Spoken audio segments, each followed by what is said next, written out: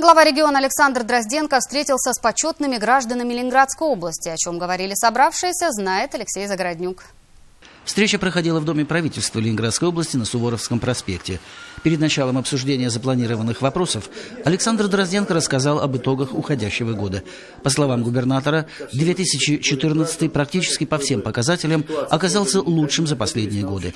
Затем почетные граждане Ленинградской области обсудили подготовку к проведению праздничных мероприятий, посвященных 70-летию Победы в Великой Отечественной войне.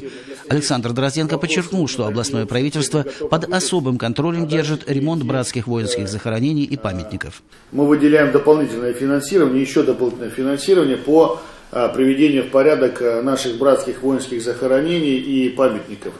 А, мы вот в этом году выделили деньги, еще 78 миллионов выделяем дополнительно на следующий год, и часть денег у нас еще переходящий, но мы не успеваем освоить из-за погодных условий, перейдут на следующий год. В том числе такие знаковые вещи делаем, как восстановление музея в Кабоне здания. Это ремонт памятников дороги жизни, зеленого пояса славы.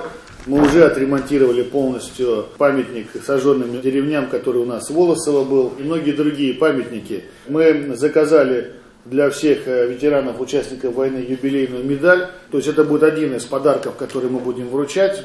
Мы не знаем, что будет выделяться на федеральном уровне, но мы решили, что нужно не только там, потому что были предложения там по продуктовым наборам там и так далее, но мы хотим что-то вручить, чтобы это осталось как память. И также мы еще определяемся по поддержке всех советов ветеранов. Мы хотим Советом ветеранов районов выделить определенное финансирование. Сейчас они определяются в виде материальных это будет или э, финансовых средств, э, ну, для того, чтобы они уже могли внутри отдельно еще ветеранского сообщества либо организовать праздник, либо там получить какой-то на совет ветеранов такой серьезный подарок.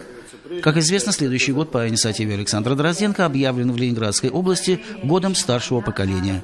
Почетные граждане 47-го региона и по этому вопросу высказали немало ценных замечаний и предложений, которые будут учтены при организации соответствующих мероприятий.